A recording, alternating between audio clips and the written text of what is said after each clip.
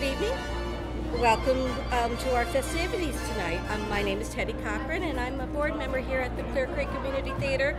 And I wanted to uh, uh, wanted you to um, join in our festivities here. We are celebrating the opening night of Dracula. It is running through November 2nd, and we're so excited. Dracula is the second show of our 50th anniversary season. We are going on. We have we have five more productions, and we are going strong. Uh, we've had some really good feedback from some of our patrons tonight, and I'd like to take you out and introduce you to some of them so you can uh, see what some of the what Dracula is actually about. So why don't we take a walk?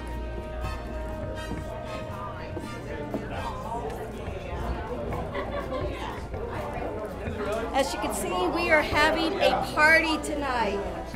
Everybody, did you like Dracula? I liked it. We have several of our friends here tonight that are usually join us for opening nights. Uh, they're our season ticket holders, and we're very, very thankful for them. So, what did y'all think about the show tonight? Very, very good. Very, very good. Yeah. Scary. Scary. Scary. Oh, good. You can't have Dracula without being scary. That was good. Dracula is perfect for the Halloween season. So I know that the coffin, we all need a coffin sitting around in our living room, don't we? And um, I'd like to uh, introduce you to our director. I'll be looking for her as we go through the crowd a little bit more. Uh, Max, why don't you come on over here? Max is one of our actors here, and he was Jonathan Harker in the uh, the show tonight. How'd I do?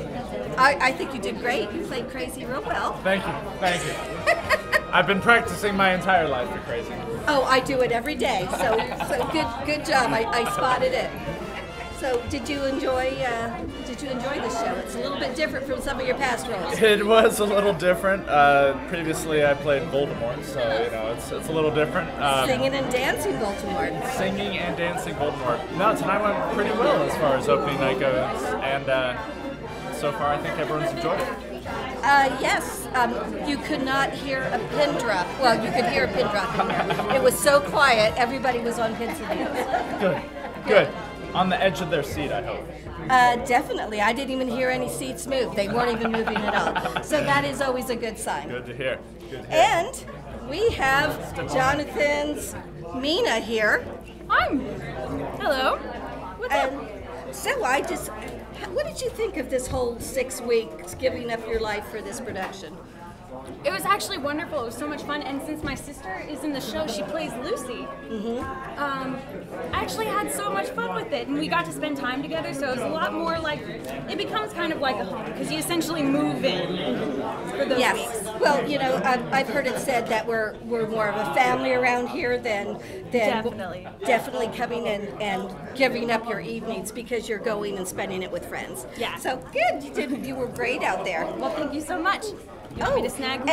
and our our director is right here. oh, that would be great. This is Michelle Robinson. She's one of our Hello. favorite Nice- directors thank you around very here. much. She's done several productions with us before, and we're always so lucky to have her. Yes, thank you very much. So tell me, Michelle, after it has already started, it's it's the opening nights in the can. night, yes, in the can, So yes. How do you feel? Oh, it's it's very exciting to be able to, to do Dracula. I loved the script when I first read it, and I, you know, there's different versions of Dracula, and you know, doing it around Halloween and you know around the, the fun times, the scary times of the year.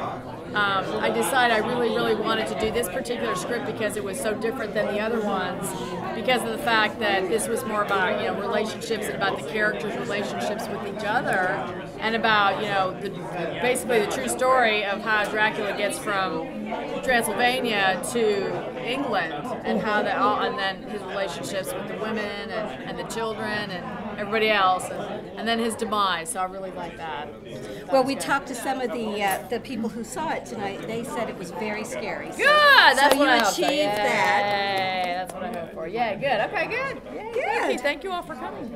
Oh well, we certainly are very glad that you could do this for us. Thank you very much. I appreciate it. And uh, so it was more of the Bram Stoker. Yes, the, it's the brand. It's based on this particular script is the closest one of all the, the Dracula scripts that was based on Bram Stoker's actual book of Dracula. And then uh, the movie version was the one with Gary Oldman and Winona Ryder, and that was again it was Bram Stoker's Dracula. So both of these two versions were the closest to what he had actually written back in the you know 19 1800s. So so that uh, that's one of the reasons I, it was so close to what it really was from the beginning. I really like that. So it's what vampires are really supposed to be like. Oh yeah, no, right. He had some really good ideas about what that was all about, and you know, when he wrote it, it he scared people because they didn't really think about that, or they never thought about that back in the day. And now it's on everybody's, you know, the front of everybody's mind. So it really fit, fit, right- fit right into everything. So nice. Great. Well, thanks again. You're welcome. Thank you guys for coming. We appreciate it.